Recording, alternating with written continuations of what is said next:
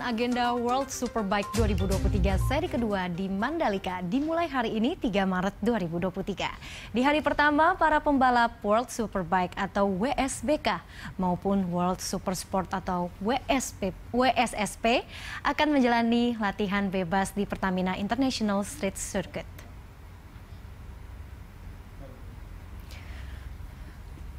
Sebelum melakoni balapan pada 4 Maret, para pembalap menjalani sesi latihan bebas yang dibuka dengan free practice 1 super sport yang digelar pukul 9 hingga 9 lebih 45 waktu Indonesia Tengah.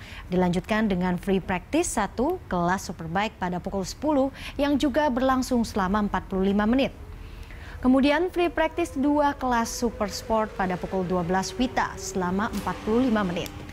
Rangkaian agenda hari pertama WSBK Mandalika 2023 akan ditutup dengan free practice 2 kelas Superbike selama 45 menit yang dimulai pukul 13 waktu Indonesia Tengah.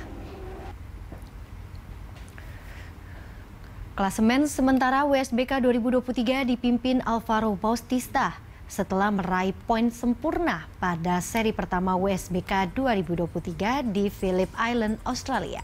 Bautista menjadi pembalap tercepat di tiga race beruntun, membuatnya menduduki peringkat pertama klasemen dengan raihan 62 poin.